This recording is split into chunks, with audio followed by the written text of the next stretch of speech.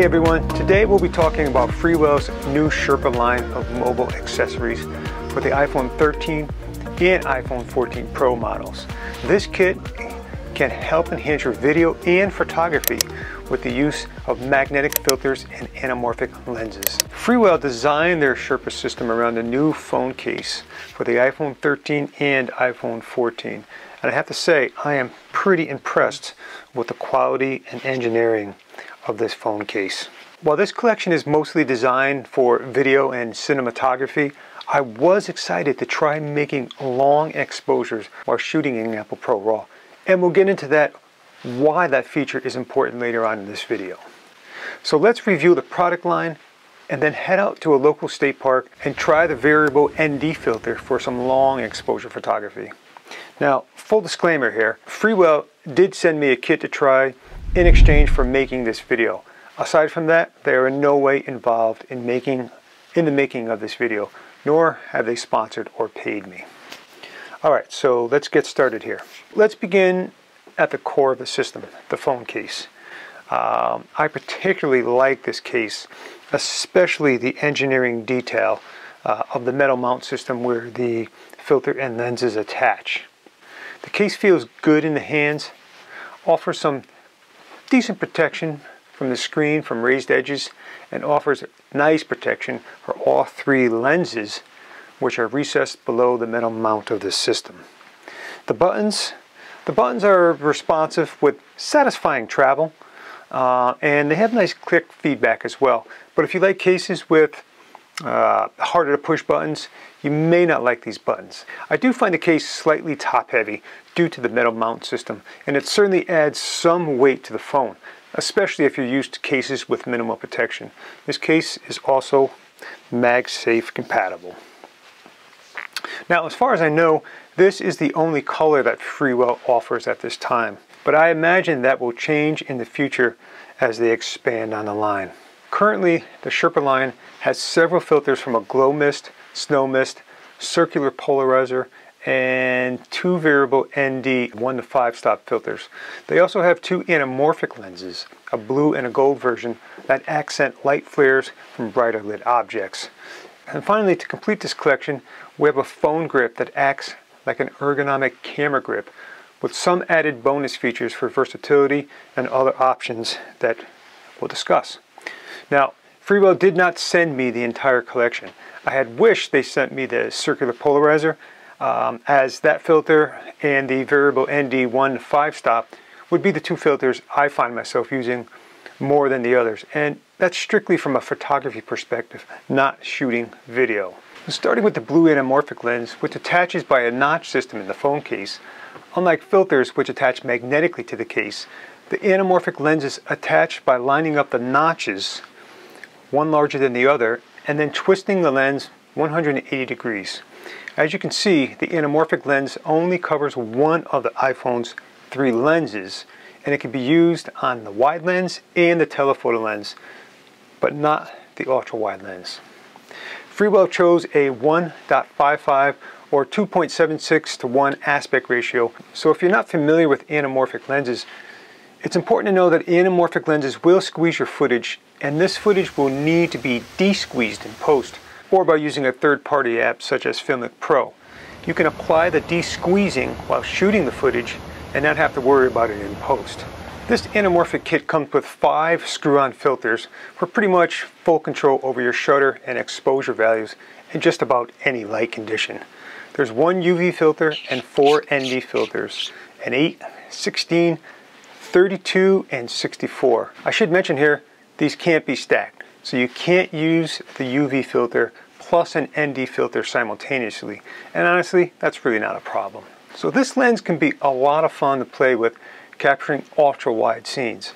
I'm not sure how well this would work for still photography. Say for example, using it for a one and done pano. But honestly, it really wasn't designed for photography per se. It's really catered towards cinematography and I did find some softness around the edges which is sort of the nature of the beast when it comes to anamorphic lenses, at least at this price point. So let's go over the filters. What I really like about this design is that not only are these filters magnetic, but they cover all three lenses, giving you the freedom to choose each lens without having to remount the filter over your chosen lens. And I have to say, the magnetic system is impressive. These filters snap on and they're solid. For those of you who, who watch the channel, you know that I like pushing the boundaries shooting Pro RAW with the iPhone. And what I found is that even shooting in RAW on an iPhone, the images are usually too crisp and too sharp. The snow mist filter can actually help with this and was designed for diffusion and diffracting light, which helps soften the image somewhat. And this can be helpful with over-sharpened iPhone images, even when shooting in RAW. So it's a very good general filter to just have on you. And again, covering all three lenses is a bonus. So let's take this lens off and let's look at the variable ND filter.